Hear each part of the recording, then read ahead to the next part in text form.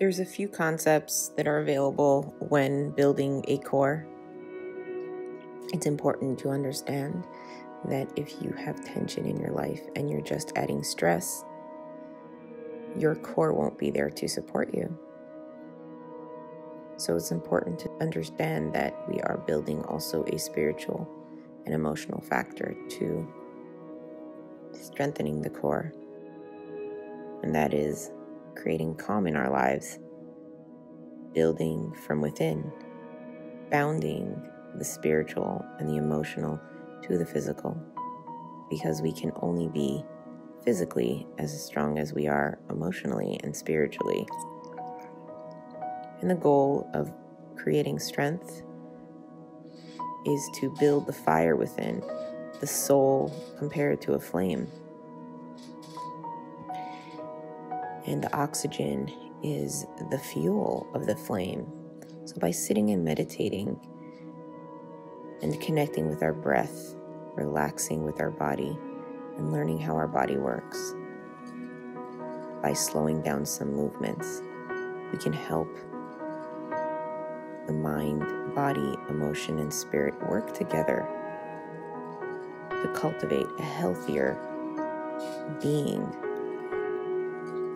When we rush around, it's very easy to pull a muscle and create indigestion, and accidents are prone to occur.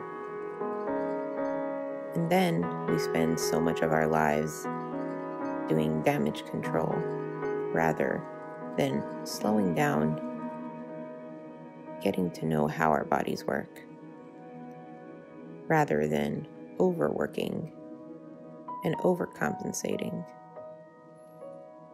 So, what I suggest is take a few minutes a day to know yourself.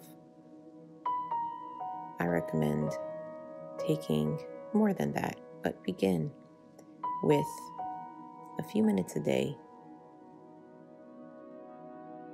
building on that fire, feeling the internal heat,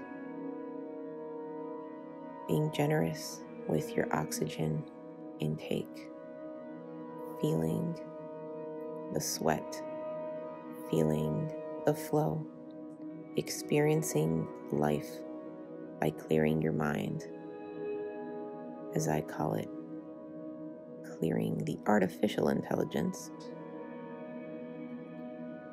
Get to know yourself.